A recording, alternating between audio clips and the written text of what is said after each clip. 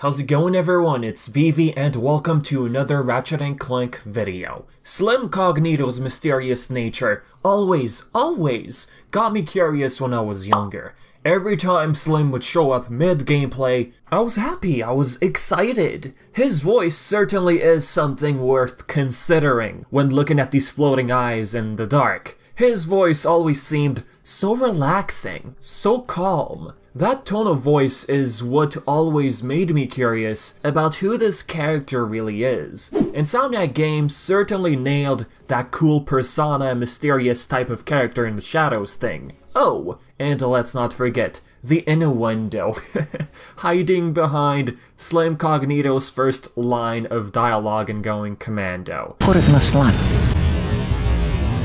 Put it the. As a kid, that certainly went over my head. Listening to it now, Insomniac Games, you bunch of naughty dogs. Yup, to give you guys a refresher. Slim Cognito first appeared in Going Commando in several locations. We have Planet Endako's Megapolis, Boldan's Silver City, and Tabora's mining area. The very first time you pressed on this mysterious red button, I mean it didn't matter where you found that button first. If you press it for the first time, a mysterious truck appears, eyes pop out of the darkness, and you hear the words, put it in the slot. Ratchet then realizes what he meant. Like, oh, okay, you make weapon modifications, okay, nothing else. Once Ratchet realizes that, this mysterious already black market looking type of guy explains that he can turn Ratchet's weapons into powerful piece of equipment with a few tweaks. Yep, I can take your puny little weapon and with a few, uh, tweaks, tweaks. Tweaks the way he said it. As a kid, it sounded so cool. I mean, just the sound of it. Tweaks. Now, by paying Slim Cognito Platinum Bolts, you could purchase permanent mods for your weapons, ranging from acid to shock to even lock-on mod, which by the way they're all stackable mods and permanent. Going Commando is well known for its ship sections. Well, Slim made sure our duo was well prepped up fighting in space, so what Slim did as well? He provided us with ship upgrades, our Star Explorer ship. However, it ain't free. This time, we had to pay him Raritanium, Ratchet first saw this ad of his, you know, upgrading ships on planet Notak in Canal City. The highlight of this ad was that if you're afraid to get caught with a modified ship, well, our secret would be safe with them. They would also hook us up quickly, cheaply, and quietly. All this was titled Legally Ambiguous Refashioning. When Slim mentioned that your secret is safe with us, us probably implied that Slim didn't work solo. However, as much as we'd like to believe so in Going Commando, the game didn't give us any other sort of indication that Slim worked as a group. Now here's a cool fact. Over on the cutting room floor for Going Commando, you can find unused audio clips for Slim Cognito. He would basically be making remarks while choosing which mod we wanted. Now one of those remarks, he says that he has to get to a manicure appointment. Let's go, pal. I got a manicure appointment to get to. And the other is saying he could get into a lot of trouble for this. I could uh, get in a lot of trouble for this.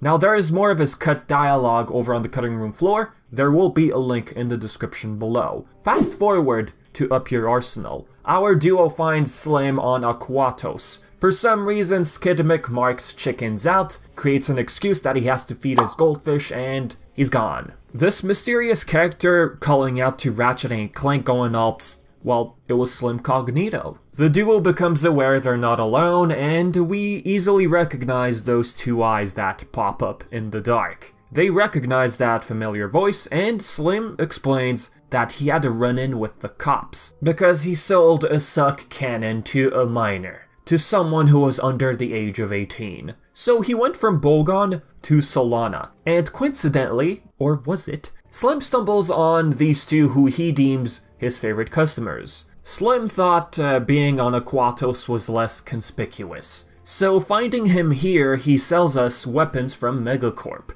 If you had a save file of Going Commando, you would get these weapons for free. the lava gun, and the mini turret glove. What I always appreciated about these weapons from Slim Cognito, their power level was close or pretty much equal to the power level of weapons in Up Your Arsenal. In Going Commando, there was a similar situation with the Gadgetron lady on Planet Barlow. I mean, if you had a save file of the first game, you would get these Gadgetron weapons for free. However, those weapons always felt like a thank you by Insomniac Games. Thank you for sticking around. Because from what I recall, those Gadgetron weapons in Going Commando were really, really weak.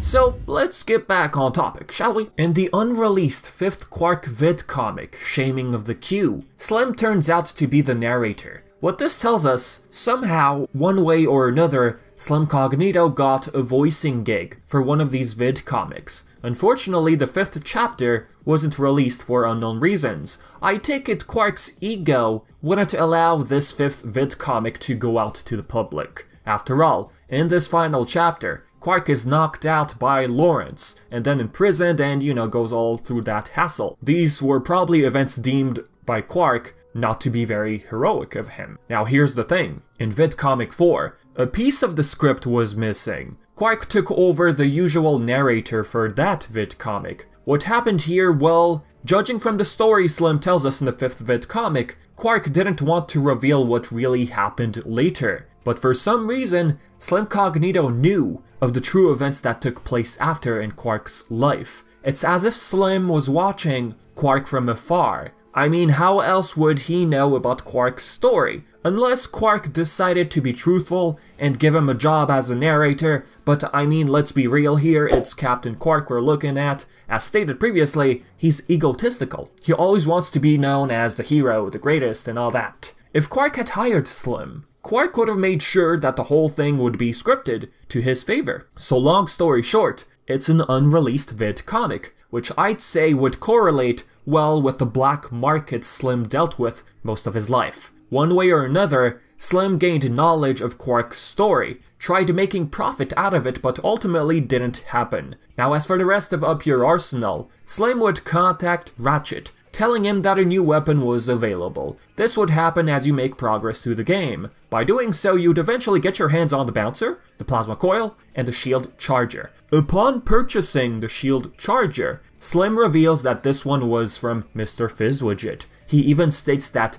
Mr. Fizzwidget sends you his regards. This free weapon, we can say, was actually given to us for free. Perhaps this was Mr. Fizzwidget's way of saying thank you for helping me in the Bogon Galaxy. The fact Slim knew Fizzwidget tells us that Slim was also familiar to other folks, not just Ratchet and Clank. Another cool fact, unused dialogue was discovered in an August beta of Up Your Arsenal. You can find all of this over on the wiki. There's a couple of interesting things to note here. Slim would sell the RYNO. That was their original plan. He also claimed to have worked with Thugs for Less. Going back to what I just said, he was known throughout the galaxy. This one comes courtesy of my boys at Thugs for Less. Look, it's completely understandable why they took these lines out. Either they didn't really add much to the story, or they just came off contradictory. The Thugs for Less one, for example. Thugs and Ratchet never had a friendly relationship, so that line of courtesy would have sounded very unusual, so it's completely understandable why they took it out.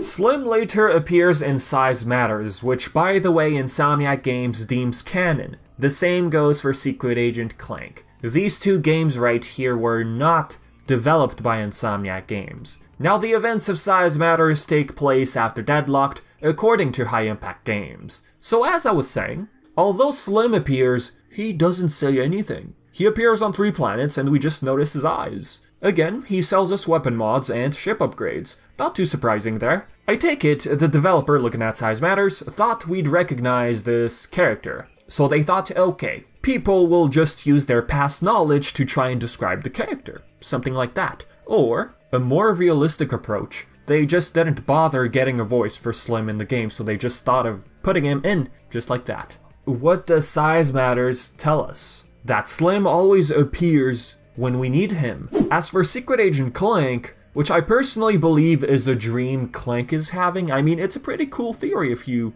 think about it a little. The ending of Tools of Destruction, Clank is taken by the Zoni. Tools of Destruction was released in 2007. Secret Agent Clank was released in 2008. So it's like we can say Clank was put to sleep and he started dreaming about being a secret agent again. Try and connect the dots here a bit. It's cool if you think about it. Slim in this game appears to be imprisoned after selling black market merch, especially to us. Clank uh, somehow gets into contact with Slim. Clank tells Ratchet to try and find a code that would help Clank enter the high stakes room at the casino. Slim just so happened to be someone familiar with that game. He offered to give Ratchet a code if he defended him from past customers in jail who would pretty much be out to get him. That's about it for Secret Agent Clank. We last heard from Slim Cognito in Zordoom Prison on Plant Visceron in Tools of Destruction. From the intercom, inmate 829C, I think that's what we hear? Cognito Slim is told to report to Sector 12 for a cryosleep chamber. Inmate number 829C, Cognito, Slim.